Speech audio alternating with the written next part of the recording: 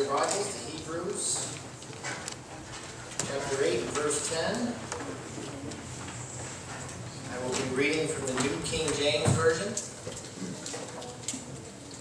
For this is the covenant that I will make with the house of Israel after those days, says the Lord. I will put my laws in their mind and write them on their hearts,